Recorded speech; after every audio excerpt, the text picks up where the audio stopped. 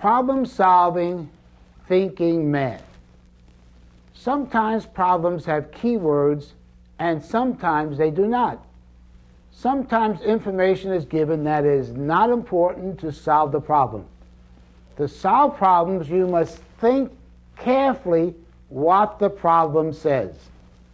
Let's examine this problem from the workbook. A city provides $2,500,000 for its weekly budget. The expenses for the first week in January was $2,457,658 and for the second week it was $2,784,942. How much was the expenses for the first two weeks in January? Now it's critical in doing problems like this to think. That's why it's labeled thinking math. You have to use logic. What is the problem and what is the question asking? The question is how much was the expenses for the first two weeks in January?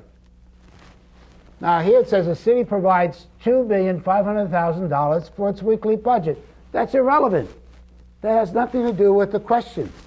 The question is asking about expenses for the first two weeks. The first week is over here. In January was, this is the number, $2,457,658. And for the second week, it was $2,784,942. This has nothing to do with the problem. And so when you look at a problem like this, you have to think, you have to use logic. And so this is put in there to make you think what you're doing. The question is how much was the expenses for the first two weeks in January? Let's solve the problem.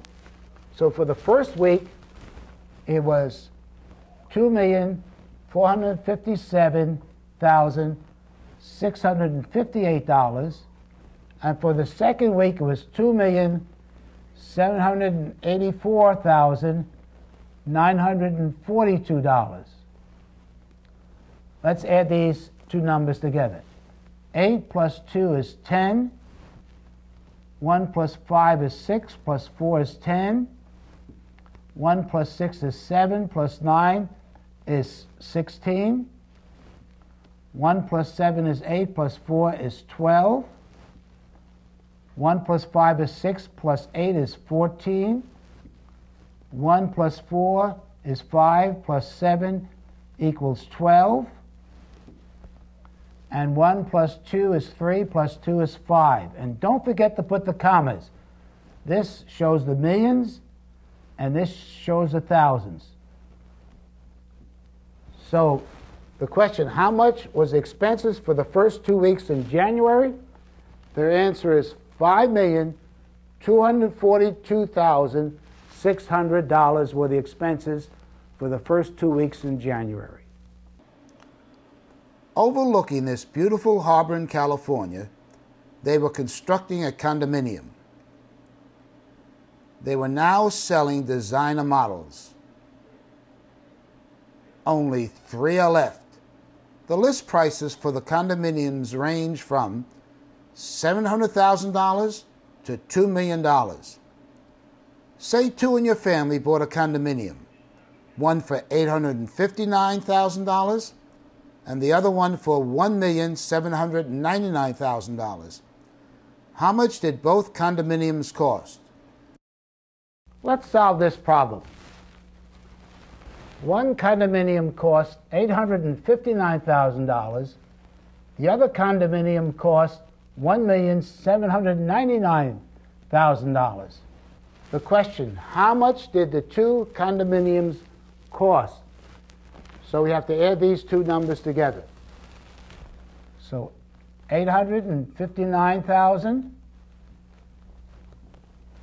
plus 1,799,000 dollars zero zero zero 9 plus 9 is 18. 1 plus 5 is 6, plus 9 is 15. 1 plus 8 is 9, plus 7 is 16.